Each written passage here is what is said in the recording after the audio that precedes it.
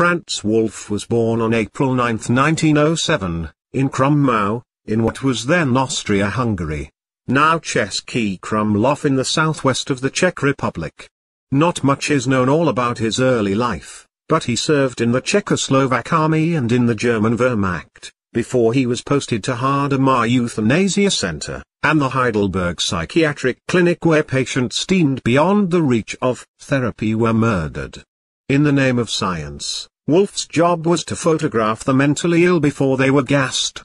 Together with his brother Joseph, he was sent to the Sobibor extermination camp in German-occupied Poland in early March 1943, as a specialist in euthanasia.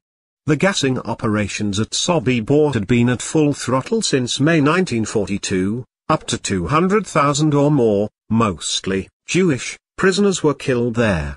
Wolf served in the camp until the prisoner uprising in 1943. He liked to hang around the camp's so-called barber shop, where his brother was a squad leader, and he would watch naked women having their heads shaved by the Sonderkommando. He supervised the sorting barracks where belongings of the victims were processed, and also led the Waldkommando, forest brigade, cutting trees for the fueling of cremation pyres in the camp's killing zone.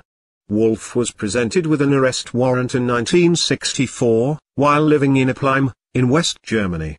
In 1966, a court in Hagen sentenced him to eight years imprisonment for his role as an overseer of a slave labor commando that sorted the belongings of victims who'd already been killed. Wolf, in his work, as the warehouse clerk, was charged with personally killing one Jew, and with helping to murder an additional 115,000 others. He was found guilty of assisting in the murder of, at least 39,000 Jews, this number chosen randomly for judicial purposes. Not much is known about him after this, but it's very likely served at least half his sentence. He died in Palling, in Bavaria, on October 9, 1999, at the age of 92.